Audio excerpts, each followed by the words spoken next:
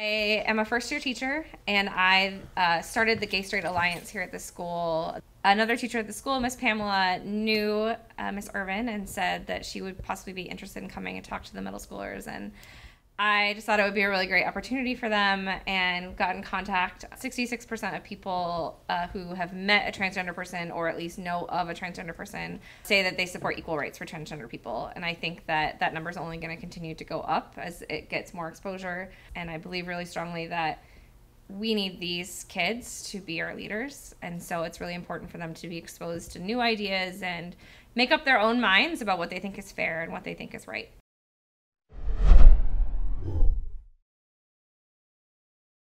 Hi everyone, I'm Brian Sacripanti with Cal TV Entertainment, and today I'm joined by Erika Ervin, uh, also known as Amazon Eve. Yes. Uh, most recently featured in American Horror Story Freak Show. It's, exciting. It's very nice to meet you. Oh, thank you. And it wasn't until fairly recently that, that you kind of came out publicly and did um, come out as transgender.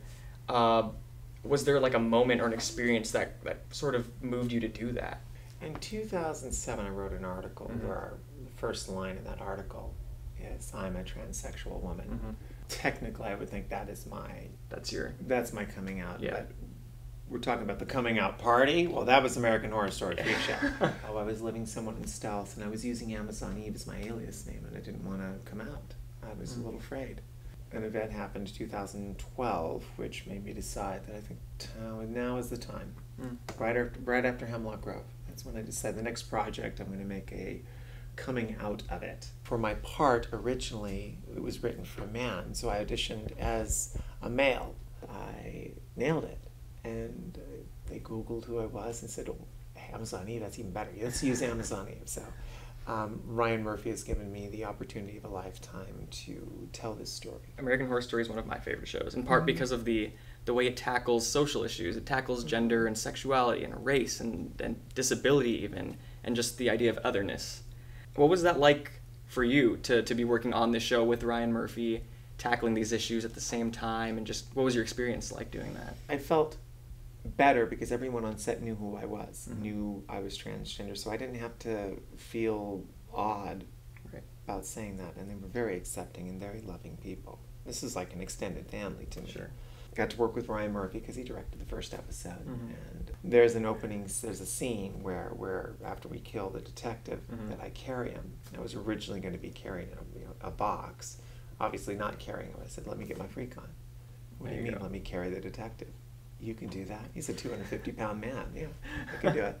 You see a lot of cases in which a straight actor will play uh, a character who's gay, lesbian, trans, you know, things of that nature.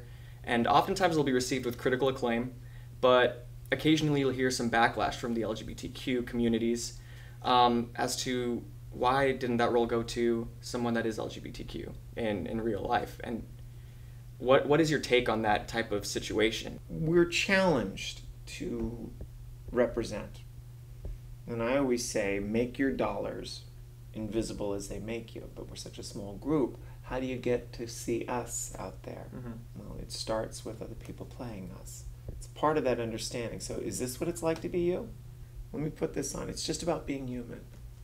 Yeah. Right? I play. I've played um, straight cisgender females. Right. So, shouldn't that role have gone to a six foot eight woman? Very hard to find. We have um, a challenge right now trying to reach people who are isolated. And I'm curious, how do we, how do we do that? This is a conversation I want to begin now. And does everybody here have someone to check in with? A parent, a teacher?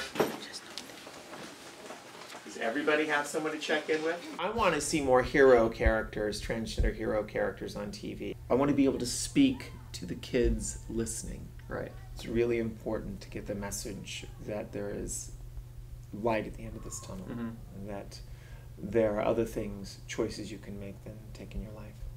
Then I never thought of myself as pretty or beautiful or even valued because these messages, these bullying messages, said that you're no good, you're not going to amount to much, you're mentally ill. These are old ideas. Wipe those away. Hold makeup. Okay, go. Okay. I'm Brian Sacripanti, and you're watching Cal TV. Was that good? That was good. That was good. Yes.